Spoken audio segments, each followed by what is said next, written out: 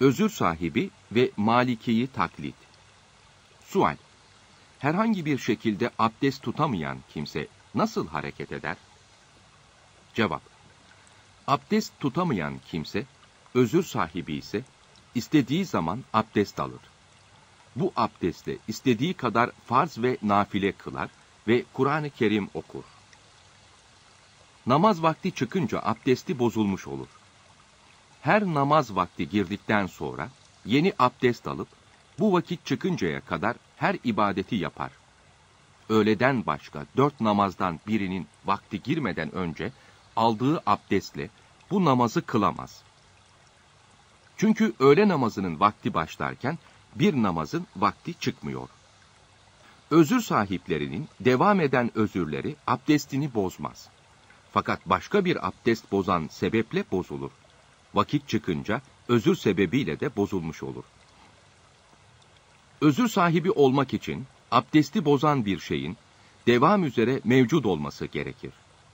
Edası farz olan herhangi bir namaz vakti içinde, namaz vaktinin başından sonuna kadar abdest alıp, yalnız farzı kılacak kadar bir zaman, abdesti kalamayan kimse, özrü gördüğü andan itibaren özür sahibi sayılır. Mesela idrar ve başka akıntılar, yer kaçması, yaradan kan, irin akması yahut meme, göbek, burun gibi bir yerden kan, irin akması gibi abdesti bozan şeylerden biri hep mevcut olur.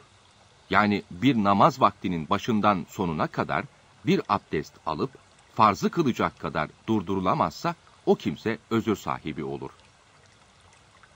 Bir namaz vakti girdikten farzı kılacak kadar zaman sonra özür başlasa, vaktin sonu yaklaşıncaya kadar bekler. Hiç durmadıysa, vaktin sonunda abdest alıp o vaktin namazını kılar. Namaz vakti çıktıktan sonra, sonraki namaz vakti içinde durursa, önceki namazını iade eder. İkinci namaz vaktinin başından sonuna kadar hiç kesilmezse, özür sahibi olduğu anlaşılır ve kılmış olduğu önceki vaktin namazını iade etmez. En uygun olanı da özürlü kimsenin Maliki mezhebini taklit etmesidir. Çünkü Maliki'de abdesti bozan başka bir sebep yoksa, o kimsenin özrü namaz vakti çıksa da abdestini bozmaz. Her namaz vaktinde bir kere çıkması da şart değildir. Günde bir defa veya birkaç günde bir defada özrü zuhur etse, yine özrü abdestini bozmaz. Namazdan önce veya namaz içinde idrar veya yel kaçıran yahut akıntısı olan kimse, Maliki mezhebini taklit ederse abdesti bozulmamış olur. Sual. Trafik kazası geçirdim. Birkaç haftadır alçılı koluma mesederken abdest alıyorum. Bir hoca, sen özürlüsün, vaktin sonuna kadar bekleyerek her namaz vaktinde abdest alman gerekir dedi. Doğru mudur? Cevap, çok yanlıştır. Bir kere kolu sargılı olan özürlü olmaz. Bir akıntısı olan özür sahibi olabilir. Sabah aldığı abdeste, abdesti bozan bir şey olmadıkça, yatsıyı da aynı abdestle kılabilir. İkincisi, özürlü olan da yine vaktin sonunu beklemez. Eğer özür sahibi olmayıp da akıntısı ilk defa olan kimse vaktin sonuna kadar bekler. Bunun alçılı kolla alakası yoktur. Sual. Günde bir defa veya iki günde bir defa idrar kaçırıyorum. Bazen namazda kaçırdığımı sanıyorum. Namazım sahih oluyor mu? Cevap.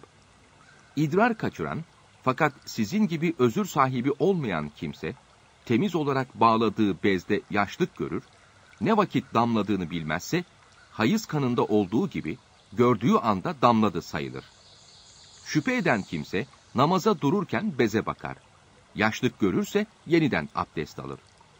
Namazdayken şüphelenirse selam verince hemen bakıp damlamış olduğunu görürse namazını iade eder. Selamdan birkaç dakika sonra bakıp görürse namazını abdestli kılmış sayılır. Bu durumda olan kimse Hanefi'de özürlü sayılmazsa da Maliki'de özürlü sayılır. Onun için Maliki mezhebini taklit ederse idrar kaçırmakla abdesti bozulmuş olmaz ve namazdayken beze veya çamaşıra akan idrarda necis sayılmaz. bu ruhsattan faydalanıp kendimizi sıkıntıya sokmamalıyız. Sual. Basur hastasıyım. Kanama oluyor. Çamaşırım kirleniyor. Abdestli durmam zor. Bir kolayı yok mu? Cevap. Kolayı var. Maliki mezhebini bu konuda taklit ederseniz, Basur'dan akan kan, abdesti bozmadığı gibi necis de sayılmaz. Yani namaz içinde kan gelse, hem abdestiniz bozulmaz, hem de çamaşırı kirleten kan, necis sayılmadığı için o haliyle kılabilirsiniz. Namazdan önce kan gelirse yine abdestinizi bozmaz. Ancak imkan ve vakit varsa çamaşırınızı değiştirmeniz gerekir. Çünkü kendi mezhebimizden çıkmış değiliz.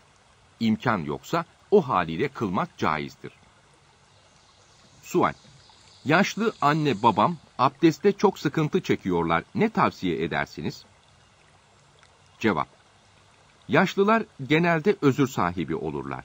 Bunlar Maliki'yi taklit ederse akıntıları, yel kaçırmaları, idrar kaçırmaları, kanamaları abdestlerini bozmaz.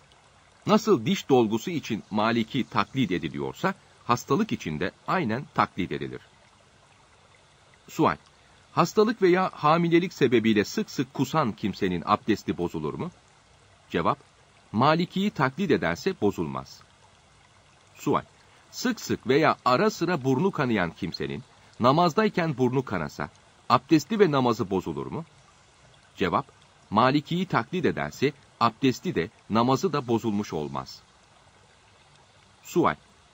Ara sıra elde olmadan yel ve idrar kaçırmak abdesti bozar mı? Cevap. Maliki taklit edilirse bozmaz.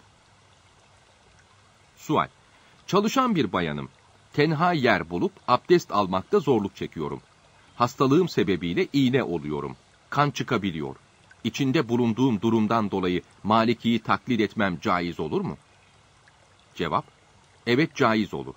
Yabancı erkekler yanında kolları açmak haramdır. Haram işlememek için de mezhep taklit edilir.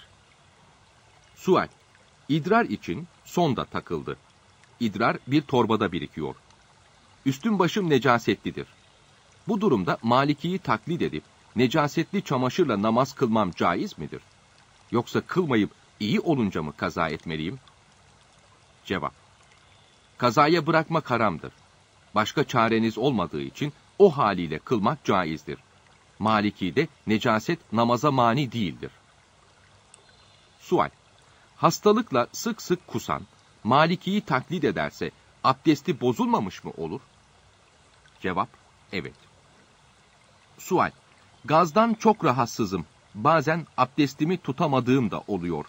Maliki'yi taklit caiz mi? Cevap, evet. Sual. Ameliyatla karnımdan delik açılarak torba bağladılar. Torbadan bazen necaset sızıyor. Maliki'yi taklit caiz mi? Cevap, evet. Sual. Diş etleri kanayan nasıl abdest alır? Cevap. İki namaz arasında bir kere kanıyorsa özür sahibi olur. Her beş vakitte abdest alması gerekir. Eğer Maliki'yi taklit ederse diş kanamaları abdesti bozmaz. Bir abdestle abdesti bozan başka şey olmasa istediği kadar namaz kılar, mesela sabah abdestiyle yatsıyı bile kılar. Sual 13 yaşında bülüğa eren kızım akıntıdan dolayı Maliki mezhebine uyabilir mi? Cevap elbette. Akıntısı o zaman abdestini bozmaz.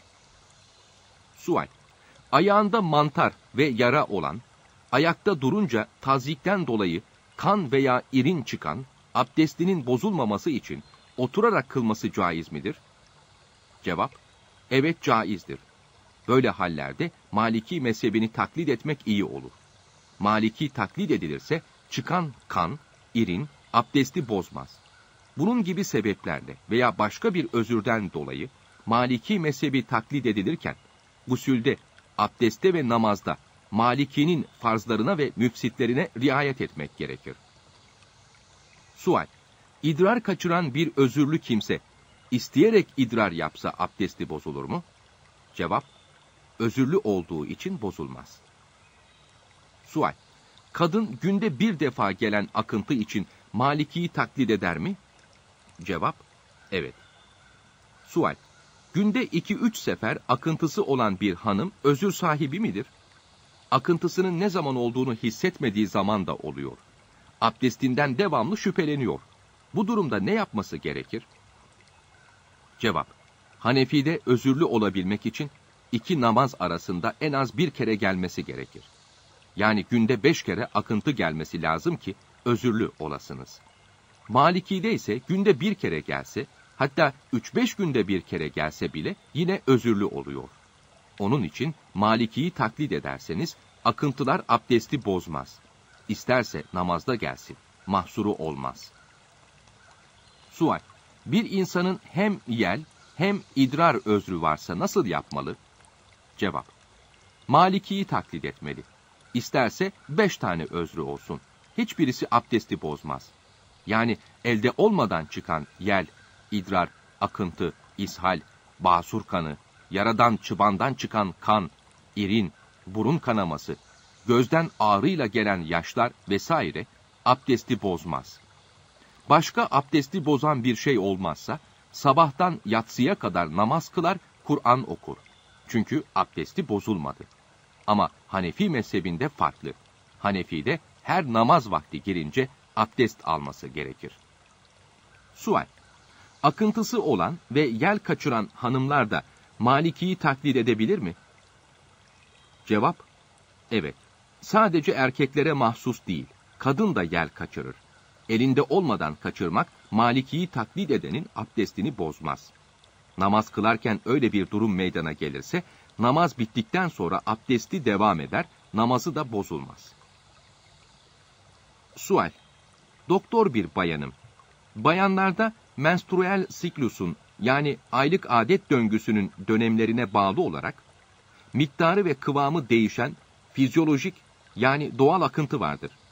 Bu akıntı meselesi abdest ve namaz konusunda bayanların yaşadığı en büyük sıkıntı. Ancak benim birçok tesettürlü arkadaşım var ve hiçbirinin böyle bir şeyden yani Maliki mezhebini taklitten haberleri yok. O zaman kadınlar Maliki neden taklit etmiyorlar? Cevap. Bilmedikleri için. Çekinip rahatça soru soramamalarından bu sıkıntıyı çekiyorlar. Maliki'yi taklit etseler rahat edecekler. Bu akıntılar ne abdestlerini ne de namazlarını bozacak. Ayrıca iç çamaşırına akıntı bulaşmış ise temizini bulmak zor olursa bunu değiştirmeden namaz kılabilir. Maliki'de necaseti temizlemek farz değil. İhtiyaç halinde necasetle namaz kılmak caizdir. Sual. Doğal akıntı sarı akıntı mı? Rengi nasıl? Evlide bekarda değişir mi? Menopozdan sonra da doğal akıntı olur mu? Bu doğal akıntı nedir? Diğerlerinden farkını nasıl anlayacağız? Cevap. Nisaiye uzmanı bayan doktor diyor ki, doğal akıntı denilen şeyin rengi aslında şeffaf beyaz arasıdır. Ancak bu akıntı çamaşırda veya pamukta birikince ve biraz bekleyince sarımsı renk alır. Dolayısıyla çamaşırda görülen sarı renk doğaldır. Evlide bekarda aynıdır. Menopozdan sonra olmaz. Ancak eğer hormon hapı kullanılıyorsa bir rahatsızlık varsa olabilir. Sual. Bir vaktin girmesiyle eli veya herhangi bir yeri kanayan bir kimse, farzı kılacak kadar bir zamanda kan durmazsa, vaktin sonuna doğru o haliyle vaktin farz namazını kılabiliyorken, yatsı vaktinin girmesiyle eli kanayan ve kanaması devam eden bir kimse, yatsı namazını ve vitri kılmak için yatsının son vakti olan imsak vaktine kadar mı beklemesi lazım? Cevap, evet. Ancak Maliki taklit edilirse hemen kılınır. Sabaha kadar beklenmez. Sual, parmağım kanıyor fakat pıhtılaştı. Sadece suyu değdirince akmaya başlıyor. Namaz vaktinin sonuna dört rekatlı bir namazı kılacak kadar bekleyecek miyiz? Veya kuruyken üzerine yara bandı sarıp bandın üzerini mes mi edeceğim? Veya ne yapacağım? Cevap. Yara bandı sar ve üzerini meset. Eğer Maliki'yi taklit ederseniz, yaradan kan, irin aksa da abdestiniz bozulmuş olmaz. Sual. Abdest alırken sivilcelerin kimi patlıyor ve çok uzun süre kan akıyor. Bunlarla ilgili Abdest alırken nasıl hareket etmeliyim? Cevap. Kan işinin en kolay yolu Maliki mezhebini taklit etmektir. Maliki mezhebini taklit ediyorum diye kalbinizden geçirirseniz, sivilcelerden çıkan kanlar abdestinizi bozmaz. Sual. Kadınların hayzı bittikten sonra istihaza yani özür hali oluyor. Normal akıntıları da oluyor. Bunlar için Maliki'yi taklit edebilir mi? Cevap, evet taklit eder ve bu durumlar abdesti bozmaz.